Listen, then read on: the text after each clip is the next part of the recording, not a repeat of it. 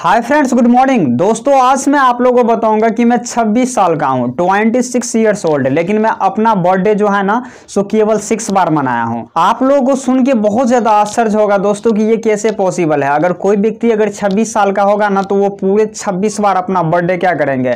तो मनाएँगे। लेकिन मैं छब्बीस साल का हूँ, लेकिन मैं अपने बर्थडे दोस्तों सिक्स बार जो है सो मनाया हूँ। बहुत सारे ऐसे दोस्त होंगे दोस्तों जो चालीस साल का होंगे, और अपना बर्थडे वो केवल दस बार मनाया होगा। अगर मेरे जैसे अगर जिस वर्ष में मैं जन्म लिया हूँ ना, अगर उसी वर्ष में अगर वो भी जन्म लिया होगा तो।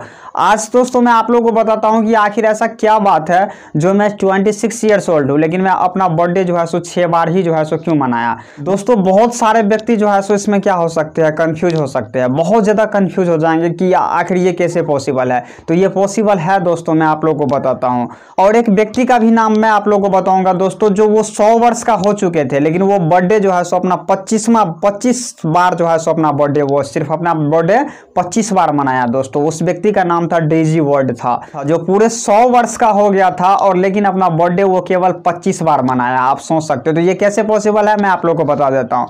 तो इसको समझने के लिए सबसे पहले आप एक बात बताइए दोस्तों, एक साधारण वर्ष होता है। तो एक साधारण वर्ष में कितने दिन होते हैं आपको? तीन सौ पैंसठ दिन होते हैं।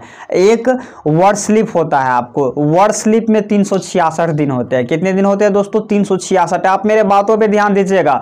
तो देखिए वर्ड स्लिप जिस दिन, जिस साल अगर जो जो साल अगर वर्ड स्लिप में होता है ना तो उसमें आपको फरवरी महीना में कितने दिन होता है आपको? फरवरी महीना में उनतीस दिन होता है। अदरवाइज़ साधारण वर्ष में आपको कितने दिन होते हैं? तो फरवरी महीना में अट्ठाईस दिन होता है। आप ये भली भांति जानते होंगे दोस्तों। आप सुने होंगे कि कभी फरवरी में अट्ठाईस तारीख हो, अट्ठाईस तारीख के बाद ही जो है सो एक तारीख हो जाता है और कभी उनतीस तारीख के बाद जो है सो एक तारीख होता है। तो वो क्यों होता है? क्योंकि जिस दिन उनतीस तारीख होता है ना तो समझ लीजिए वो वर्ड स्लिप चल रहा है। और एक वर्ड स्लिप में कितने दिन होते हैं? तीन सौ छियासठ दिन होते हैं। और साधारण वर्ष में आपको तीन सौ पैंसठ दिन होते हैं। आप याद रखिए दोस्तों। तो आप कैसे समझिएगा कि कौन साधारण वर्ष है और कौन आपको वर्ड स्लिप है? आप कैसे समझोगे? तो बहुत ईजी है दोस्तों।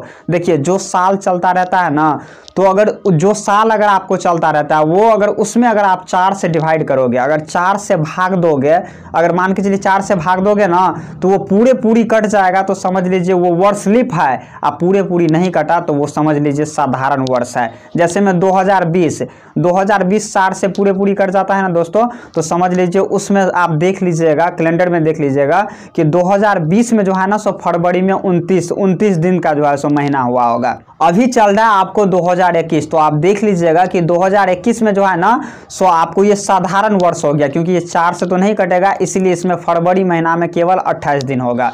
तो आई होप दोस्तों आप लोग समझ गए होंगे। तो आप ही जरा सोचिए दोस्तों कि अगर जिसको अगर वर्ष स्लिप में फरवरी में उनतीस तारीख का जन्म होगा, कितने तारीख को दोस्तों? उनतीस तारीख को अगर जिस व्यक्ति का जन्म होगा, अगर वर्ष स्लिप में उनतीस तारीख का जन्म होगा तो वो चार चार साल बाद जो है सो अपना बर्थडे मनाया कि नहीं? आप देख लीजिए, फरवरी में उनतीस तारीख को वो पैदा हुआ दोस्तों।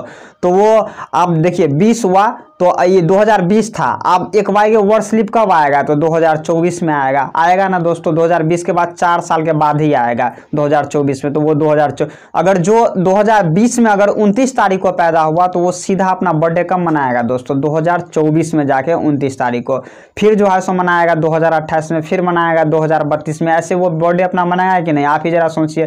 क्योंकि वो उनतीस तारीख को पैदा हुआ है ना? तो उनतीस तारीख कब आएगा दोस्तों? तो वही वर्ड स्लिप जब आएगा, इसके बाद ही ना उनतीस तारीख तारीख आएगा। तो आई होप दोस्तों आप लोग समझ गए होंगे कि मेरे कहने का मतलब क्या है। तो केवल मैं नहीं दोस्तों, बहुत सारे ऐसे दोस्त होंगे जो आपको वर्ष स्लिप फरवरी में 29 तारीख को फरवरी में जो है सो क्या मतलब जन्म लिए होंगे तो वो अपना बर्थडे जो है सो चार चार साल के बाद ही जो है सो क्या करेंगे, मनाएँगे। तो फिक्स है कि अगर उसका अगर 40 साल होगा तो 10 बार अपना बर्थडे मनाएगा। जैसे मेरा अगर 26 साल हुआ है तो मैं अपना बर्थडे कितने बार जो है सो मैं मनाया हूँ केवल? छः बार जो है सो मैं मनाया हूँ। है ना दोस्तों आई होप दोस्तों आप लोग समझ गए होंगे कि मेरे कहने का मतलब क्या है। तो देखिए दोस्तों कैलेंडर वाला क्वेश्चन भी इसमें जो है सब पूछा जाता है। कैलेंडर वाला क्वेश्चन आप जानते होंगे, बहुत इंपॉर्टेंट क्वेश्चन है। जैसे मैं एक क्वेश्चन ले लिया हूँ। जैसे देखिए, इस क्वेश्चन को भी आप देख लीजिए कि एक फरवरी 2010 को सोमवार था। एक फरवरी 2010 को सोमवार था। तो पाँच मार्च 2010 को कौन सा दिन होगा? ये कैलेंडर वाला भी जो है सो इस तरह का क्वेश्चन रहता है, जो बहुत इंपॉर्टेंट होता है दोस्तों, और ये जान, ये जानना भी क्या है?